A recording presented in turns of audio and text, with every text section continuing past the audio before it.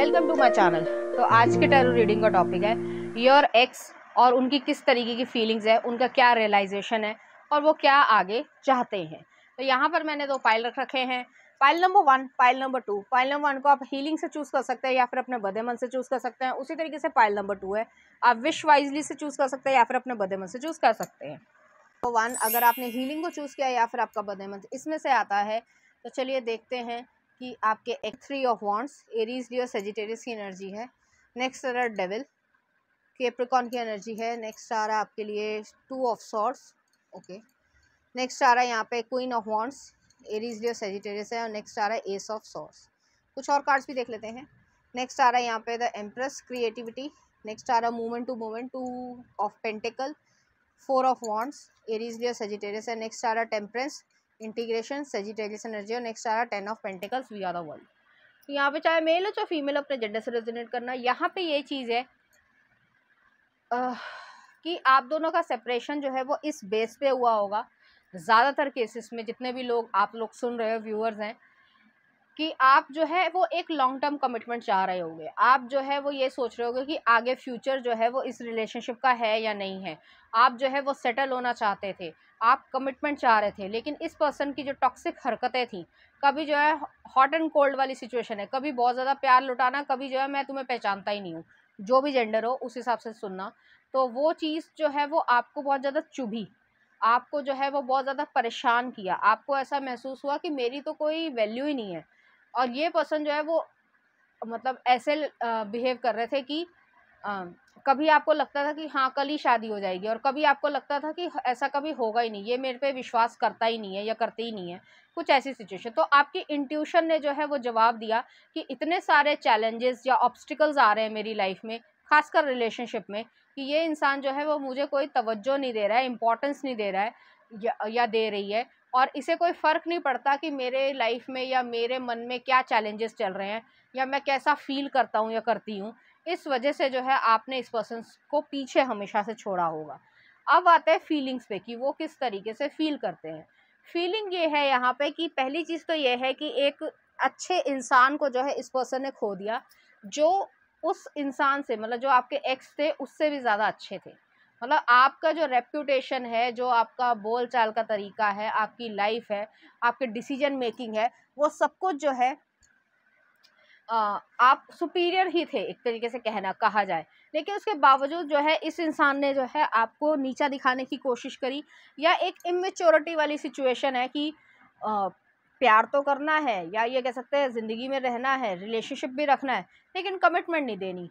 ज़िम्मेदारी नहीं लेनी है। अब तुम अपने रास्ते मैं अपने रास्ते। तो एक फ़न मोमेंट क्रिएट करने की इच्छा थी। जिस वजह से जो है ये पर्सन जो है आ, आप आप जो है इस पर्सन से दूर हुए। सेपरेशन आपने किया होगा ज़्यादातर केसेस में। और ये पर्सन आपको सच्चाई बताना चाहते हैं कि वो एक्सेप्ट करना चाहते हैं कि वो इमेच्योर थे। उन्हें जो है ज़िंदगी की ज़्यादा नॉलेज नहीं थी। वो जो है किसी के बहकावे में चल रहे थे। अब ये फ्रेंड सर्कल हो सकता है। हालाँकि बोलना नहीं चाहिए।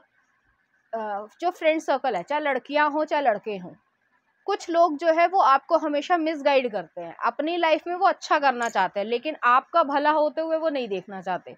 तो इस पर्सन ने जो है किसी इसी तरीके के इंसान की जो है वो बात भी मानी है, जिसकी वजह से इन्होंने नुकसान उठाया है।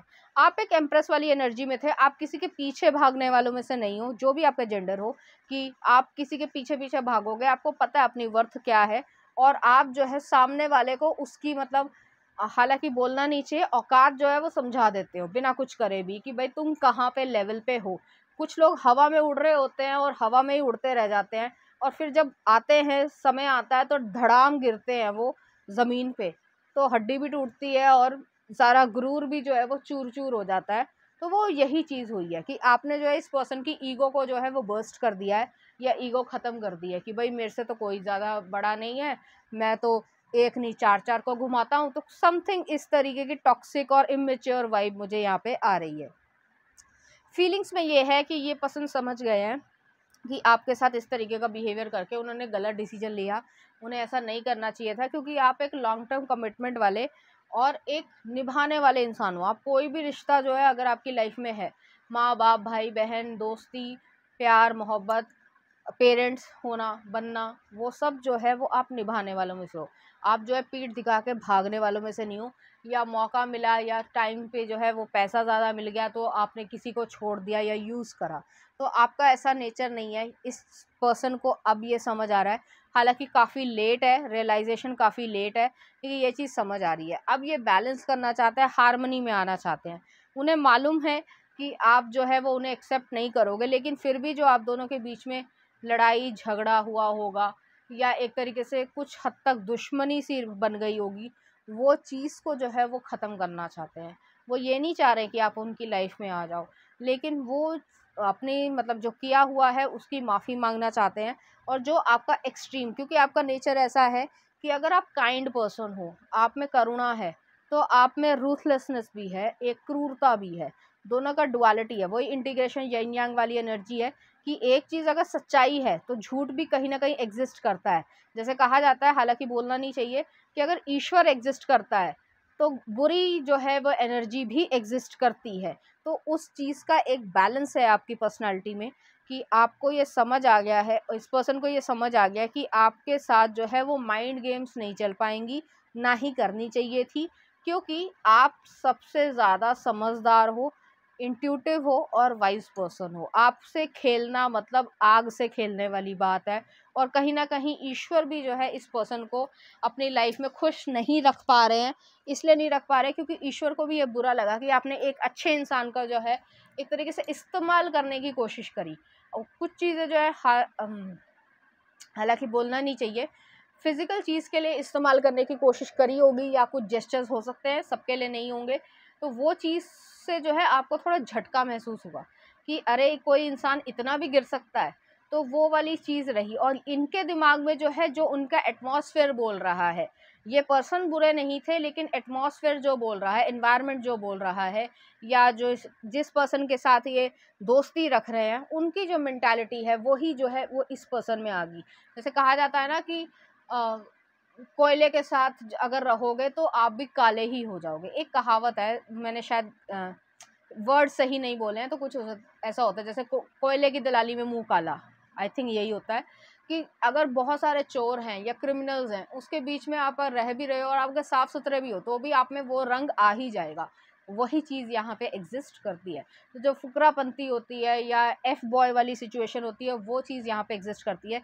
इस पर्सन की फीलिंग्स में जो ये कहना चाहते हैं, अभी हम मैसेजेस में भी देखते हैं, लेकिन इस चीज़ का रिग्रेट है इस पर्सन को कि एक अच्छे इंसान को मैंने जो है हर्ट किया और दूसरी चीज़ कि आपने इस पर्सन को सही रास्ता दिखाया होगा या आपको इम्प्रूव करने की कोशिश करी होगी। आपने इस पर्सन को इम्प्रूव करने की कोशिश करी होगी, लेकिन वो चीज़ वो यहाँ पे हो नहीं पाई। चलिए देखते हैं कुछ और कार्ड्स हीलिंग तो ये पर्सन हीलिंग चाहते हैं, जो लड़ाई झगड़ा है, वो जो है मतलब एक टॉकिंग टर्म्स पे आ जाए, वो चीज़ ये चाहते हैं. Now is a time for you to give और receive healing everyone has a natural ability to heal others yes even you तो आप अपने आप को तो हील ऑलरेडी कर चुके हो। आप इस पर्सन को भी हील कर सकते हो, लेकिन आप ना बात करना चाहते हो। और एक तरीके से आपके मन में ये है कि इसे पनिशमेंट मिलनी चाहिए, क्योंकि ये स्ट्रक फील करते हैं, आपसे मूव ऑन नहीं हो पाए हैं।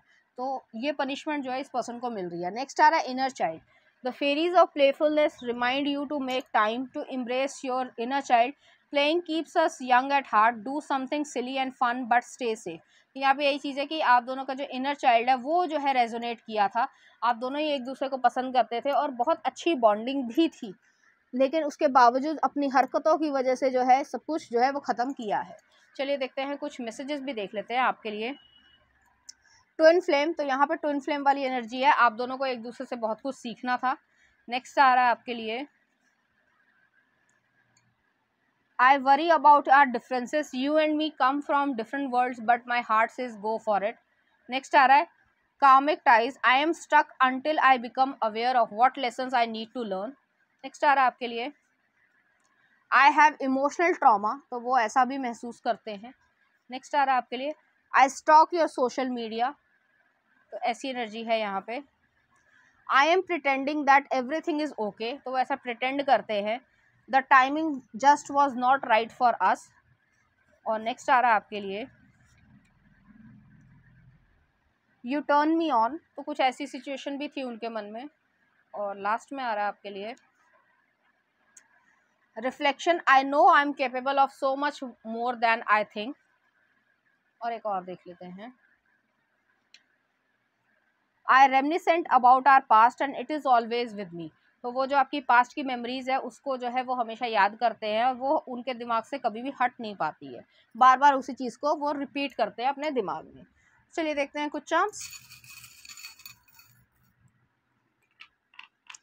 ये पर्सन आपसे बातचीत करना चाहते हैं, कोई मैसेज भेजना चाहते हैं, कुछ ऐसी सिचुएशन है, यहाँ पे हीलिंग चाहते हैं ये पर्सन स्टारफिश आई है एक्वेरियस एनर्जी है और एरीज एनर्जी है।